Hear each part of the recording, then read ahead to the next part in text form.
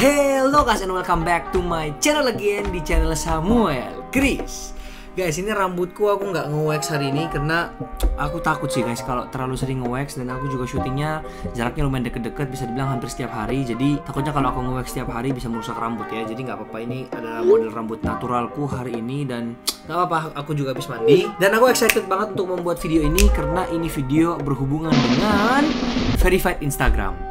Jadi sebenarnya akhir-akhir ini tuh banyak orang yang DM aku kak eh, gimana sih bisa ceritain nggak sih cara dapat verified itu gimana dan banyak juga yang penasaran. Ada yang tanya apakah dengan jumlah 100 orang itu eh, bisakah dapat verified dan lain sebagainya ya. Nah karena aku nggak bisa jawab satu persatu dan aku juga pengen share karena tujuanku sekarang buat channel mah yang penting sharing-sharing aja apa yang aku mau dan ya semoga ini bisa menjadi bermanfaat lah buat kalian ya. Tapi sebelum kita mulai video ini, aku mau menjawab satu pertanyaan. Kalau ada yang nanya kayak kak, apakah semua orang itu bisa verified? Jawabannya adalah tidak ya. Kalau ditanya apakah karena jumlah followernya dikit makanya nggak bisa dapat verified? Jawabannya juga tidak, karena jumlah follower tidak sama sekali menentukan apakah seseorang itu bisa dapat verified apa enggak. Ada orang yang cuma punya 200 follower loh guys dan dia dapat verified. Ada juga yang punya satu juta lebih eh, follower nggak dapat dapat verifiednya ya. Jadi sebenarnya apa sih yang menentukan verified itu?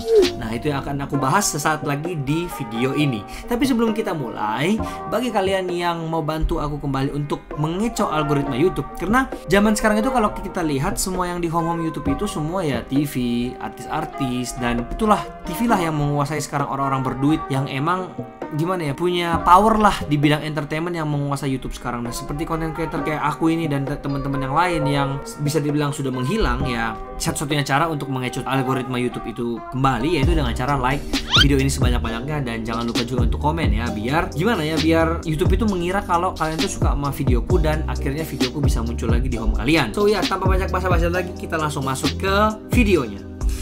Sebelum aku kasih tahu ciri-cirinya itu apa, kriterianya itu apa, aku cuma mau kasih tahu di sini kalau misalnya di Instagram itu sebenarnya kalian bisa request verified itu manual dengan cara setting dan ini juga yang aku lakukan ya. Jadi zaman dulu itu berbeda guys. Kalau zaman dulu itu ketika seseorang mendapatkan verified atau centang biru ini, dia tuh nggak punya akses sama sekali untuk menghubungi Instagram yang di mana Instagram sendiri yang harus notice yang harus tahu kayak oh ternyata orang ini artis gitu dengan cara mungkin lihat di berita, di TV dan dan lain sebagainya dan Instagram sendiri yang memberikan uh, centang biru ini atau verified ini ke orang tersebut. Dan kalau kalian bisa lihat di sini, ini aku ini udah verified ya di sini. Nah, udah verified. Kalian bisa cek sendiri juga di Samuel Chris dan aku verifiednya itu barusan aja, bener-bener barusan.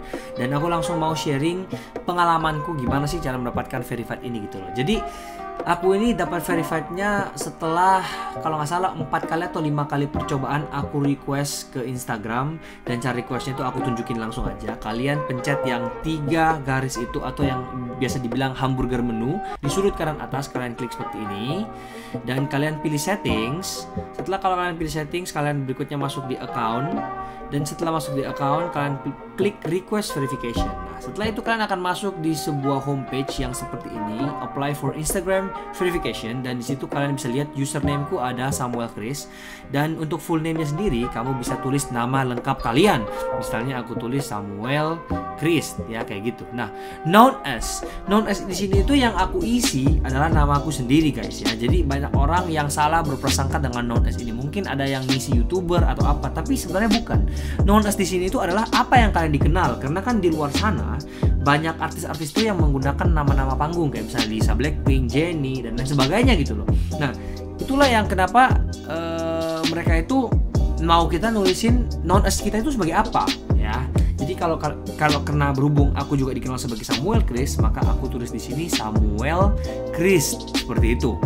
Nah, untuk kategorinya barulah di sini kalian kalian bisa pilih di sini ada sport, government, music, entertainment, blogger or influencer, business, brand atau organization. Aku jujur aja yang pertama kali aku pilih pas awal-awal aku pilih blogger, tapi yang kedua aku pilih kayak entertainment, aku juga pilih uh, apa namanya music. Jadi beda-beda ya. Dan paling terakhir kalau saya ingatku itu yang aku pilih adalah blogger atau influencer. Nah setelah itu di sini kalian harus uh, attach photo ID. Photo ID ini di situ tulisannya we are we required a government issued photo ID that shows your name and date of birth. Jadi di sini dia kasih contoh juga bisa SIM, bisa pasport dan bisa National Identification Card atau KTP. Jadi kalian bisa pilih mau SIM, mau paspor, mau KTP nggak apa-apa.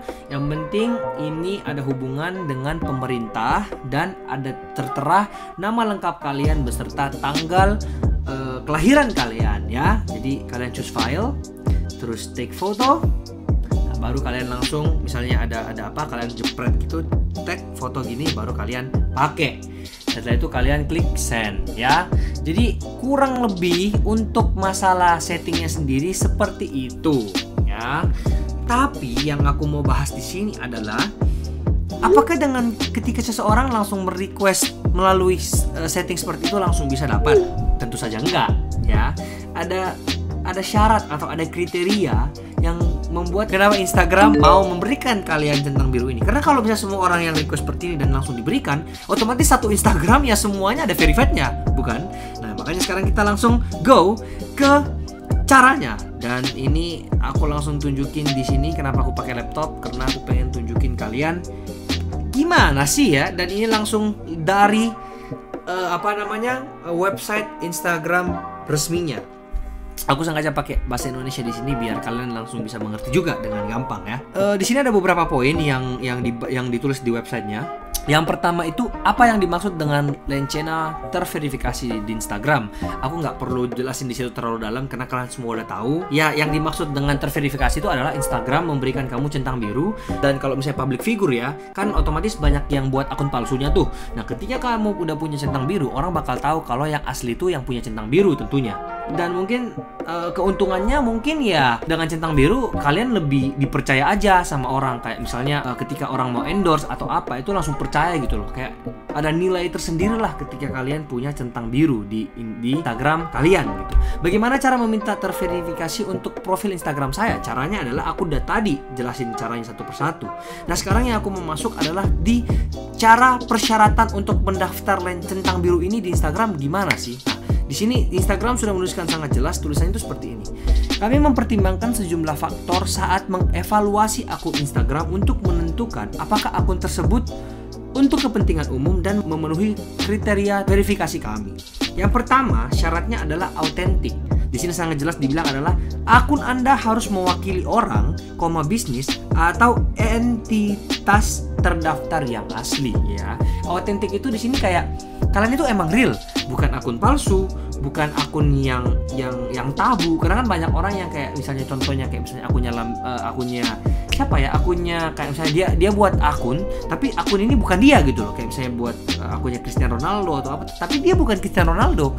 Nah syarat yang pertama di sini adalah harus asli. Kalian harus mewakili orang bisnis atau entitas terdaftar yang asli. Mau itu perusahaan atau apa pun yang penting asli real ya. Yang kedua akun kalian harus unik di sini unik. Akun harus mewakili keberadaan orang atau bisnis terkait secara unik. Hanya satu akun untuk setiap orang atau bisnis yang bisa terveri yang bisa diverifikasi kecuali akun dengan bahasa tertentu.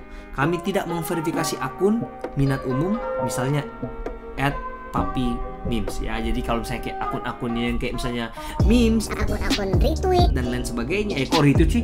Reuploader. Reuploader dan lain sebagainya. Instagram itu nggak mau memberikan. Dia mau yang bener-bener real ya kecuali mungkin kalau kayak dagelan atau apa gitu yang memang udah kayak gede banget namanya udah mewakili sebuah kayak brand lah. Ngapain mereka udah jadi brand? Ya mungkin bisa. Tapi kalau kalian yang baru mau start dan langsung gas gitu nggak bisa sih. Ini harus benar-benar yang unik. Dan ingat di sini tiap orang cuman bisa satu akun doang. Jadi kalau kayak Samuel Chris ya cuma satu doang. Samuel Chris doang nggak ada yang lain. Itulah kenapa begitu setelah Samuel Chris terverifikasi maka yang lain itu dianggap palsu. Karena yang terverifikasi cuma bisa satu ya ketiga syaratnya adalah lengkap. Akun harus bersifat publik dan memiliki bio foto profil serta minimal satu postingan. Ya akunnya harus bersifat publik yang berarti tidak boleh di lock ya. Kalau nggak salah nih. Dan memiliki bio foto profil otomatis ya harus lengkap. Ya ada namanya ada bionya dan ada fotonya serta minimal satu posting ya. Lengkap di sini tuh kayak lengkap gitu kayak syarat-syaratnya lengkap ya dan profil Anda tidak boleh mencantumkan tautan tambahan saya ke layanan media sosial lainnya. Ini syarat yang unik karena uh, sebelum-sebelumnya pas aku request yang pertama, kedua dan ketiga aku nggak tahu tentang ini, tapi ini tuh benar gitu loh ya. Kalian nggak boleh kayak promo kayak mencantumkan sesuatu ke media sosial yang lain. Contohnya di bio kalian kalian tulis kayak hmm, Facebook titik dua Samuel Chris. Atau kayak misalnya kalian tulis kayak Twitter apa? Nggak boleh. Ya mereka mau bener-bener kalian tuh cuman fokus ke Instagram aja. Tapi kalau misalnya kalian dari misalnya Twitter mau mau promosiin Instagram kalian di bio Twitter kalian itu nggak apa-apa.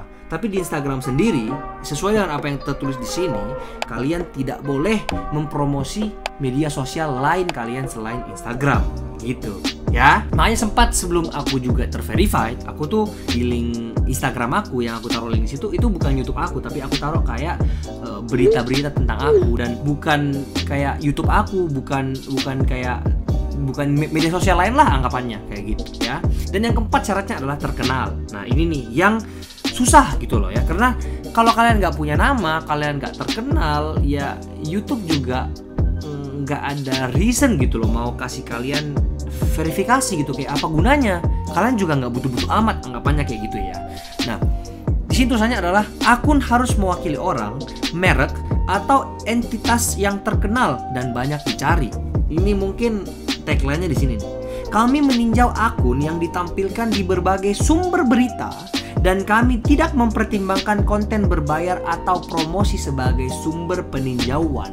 Yang dimaksud dengan uh, konten berbayar atau promosi adalah beritanya itu harus membahas tentang kalian, harus membahas tentang kisah hidup kalian, harus membahas tentang sosok kalian itu seperti gimana gitu loh? Bukan membahas tentang konten bukan membahas tentang ya, ya, yang ada hubungannya dengan promosi ya. Karena jujur aja aku sendiri itu udah masuk di banyak berita dan tidak dipungkiri bahwa ada sebagian besar daripada berita itu membahas tentang konten YouTubeku. Tentang misalnya pada saat itu aku ada sempat membuat konten tentang Pak Presiden Jokowi yang langsung diriak dengan teman-teman internasionalku itu masuk berita tuh. Ada juga yang aku tentang uh, pas bahas tentang tentang artis-artis Indonesia yang kayak uh, Syahrini dan lain-lain itu juga sempat masuk berita ya jadi konten-konten YouTubeku itu dipakai oleh berita dan dibuatlah konten di berita tersebut nah Instagram itu tidak mau melihat berita-berita yang seperti itu. Yang dia mau lihat itu adalah berita-berita yang seperti ini. Yang di mana kayak berita itu membahas tentang siapa sih sebenarnya sosok kamu itu. Membahas tentang yang real, membahas tentang pribadinya, bukan tentang kontennya.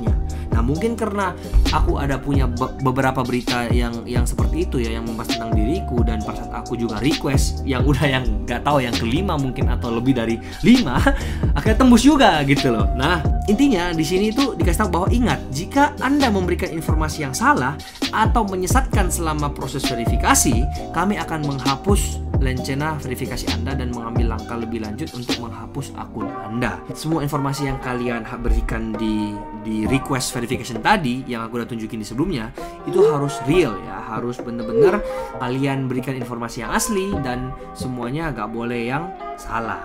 Berikutnya, ini yang menurutku penting juga, poin berikutnya itu penting dan aku akan bahas dan kita akan selesai di sini ya. Apa yang terjadi setelah saya mendaftar rencana terverifikasi di Instagram? Di sini di mark, dibuat abu-abu, dikotakin gini biar ini jelas dan ini penting banget. Dan tulisannya itu kayak Instagram tidak pernah memungut biaya terkait verifikasi atau menghubungi Anda untuk meminta konfirmasi verifikasi Anda. Yang dimaksud dengan menghubungi Anda untuk meminta konfirmasi di sini adalah password dan username Instagram. Ingat, kalau misalnya tiba-tiba ada orang yang datang ke kalian, email atau mengontak melalui DM dan bilang, "Oh iya, kalau kamu misalnya lewat aku, kamu bayar ke aku, dijamin bisa verified gitu-gitu itu itu sudah pasti bukan dari Instagram ya, guys. Karena kalau kalian bayar orang untuk misalnya buat apa dapatkan verifikasi dan lain-lain itu pertama tidak ada jaminan bahwa kalian akan dapat. Yang kedua adalah kalian bisa dihack. Kalau misalnya mereka minta password kalian dan kalian kasih akun Instagram kalian bakal dihack. Dan bisa aja Instagram juga memblokir kamu gitu loh. Karena ketahuan gitu loh kalau misalnya kalian itu emang emang nggak real ya nggak nggak legal juga kalau misalnya kalian buat dengan cara orang orang pakai orang ketiga ya itu juga ilegal anggapannya dan itu berbahaya gitu loh Berikutnya, tulisan di sini setelah kami meninjau permintaan Anda, Anda akan menerima notifikasi yang memberitahukan bahwa akun Anda terverifikasi atau tidak. Jika permintaan Anda ditolak, Anda bisa mengirimkan permintaan baru setelah 30 hari. Jelas banget di sini bahwa setelah 30 hari dari kalian merequest centang biru ini yang terjadi adalah Instagram akan memberitahukan ke kalian kembali apakah kalian dapat atau enggak. Kalau kalian nggak dapat, kalian bisa request lagi setelah 30 hari. Jadi nggak bisa setiap hari. Percuma juga kalian request setiap hari. Ada sistem di Instagram yang langsung cutting itu loh. Jadi cuman boleh sebulan sekali ya. Jadi yang belum yang yang merasa diri udah layak, udah udah udah mengikuti standar kriteria-kriteria yang di atas dan mau mencoba, jangan putus semangat karena sekali lagi kerja keras akan membuahkan hasil ya. Aku melakukan ini udah lima kali atau lebih pun aku udah nggak hitung dan akhirnya juga bisa tembus. Dan sebelumnya aku juga sempat kayak tanya ke Harbata dan emang terbukti gitu loh. Ada orang yang requestnya itu sampai empat kali dan akhirnya tembus dan ada juga yang ya cuman sekali langsung juga tembus. Gitulah pokoknya intinya jumlah follower itu tidak ada tidak ada kaitannya lah. Mau jumlah follower kalian cuma 200 tapi kalau emang kalian ada sesuatu lah dari kalian yang unik yang yang tadi itu ya kalian udah autentik kalian unik kalian lengkap dan kalian terkenal bisa-bisa aja mau follower kalian cuma 1000 pun bisa ya. Kayak gitu. Lanjut. Instagram.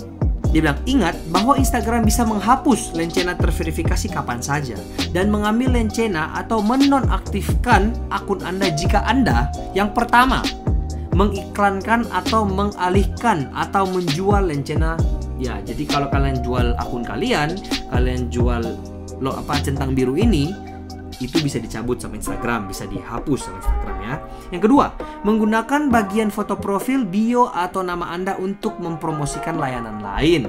Misalnya kamu ganti username ke misalnya produk atau misalnya kamu ya kembali lagi ya kalian menggunakan bagian foto profil bio atau nama anda untuk mempromosikan layanan lain ini tidak boleh. Harus cuman boleh ya kalian aja gitu ya. Kalau mungkin endorse yang untuk di feed sama di story boleh tapi mungkin kalau untuk yang kayak sampai menukar menukar apa foto profil bio dan lain-lain itu nggak boleh guys ya. Dan yang terakhir men mencoba menverifikasi akun anda melalui pihak ketiga yang tadi aku bilang. Ketika kalian menggunakan orang kalian bayar udah mahal dan lain-lain itu akun verified-nya itu bisa hilang, bisa dicabut sama Instagram kalau ketahuan ilegal ya. Jadi udah sangat jelas di sini. Jika akun Anda tidak memiliki lencana terverifikasi, ada cara lain untuk memberitahu orang bahwa akun Anda verified. Misalnya, anda bisa menautkan situs web resmi ya. Jadi kalau misalnya pun kalian tidak dapat dapat centang birunya ini, ada cara lain untuk memberitahukan kepada banyak orang kalau eh emang ini akun real gitu loh ya. Caranya mungkin saya kalian punya akun YouTube, kalian di YouTube itu kalian tulis Instagrammu apa? Kalian punya Twitter, kalian tulis Instagrammu apa? Jadi orang juga dari sosial-sosial media yang lain juga bisa langsung tahu kayak oh ini udah real gitu loh dan kalau emang kalian terkenal kalian punya banyak banget follower dengan jumlah angka follower itu pun orang udah tahu kalau ini yang real gitu ya jadi menurutku itu aja karena durasinya juga udah cukup lama di sini jadi aku rasa itu udah menjawab semuanya dan ini juga berdasarkan pengalamanku sendiri. Apa yang aku udah sampaikan itu menurutku udah sangat-sangat detail ya. Dan ini benar-benar dari situs Instagram resminya. Dan cara-caraku aku juga udah bilang tadi ya tips dan triknya nggak ada yang lain selain masuk berita kalian harus real dan itu aja sih menurutku ya kalian jangan patah semangat kalau emang kalian ngerasa udah udah udah, masuk standarisasinya yang tadi kalian jangan patah semangat terus aja request request sebulan sekali aku percaya kalian juga pasti dapat suatu saat ya tinggal hoki-hokian aja tinggal tunggu tanggal waktu ya so seperti biasa aja ya kalau kalian suka video ini jangan lupa untuk like, comment, dan subscribe channel ini dan seperti biasa see you in the next video. Saya Samuel Chris mengundurkan diri dari tempat kejadian. Bye bye.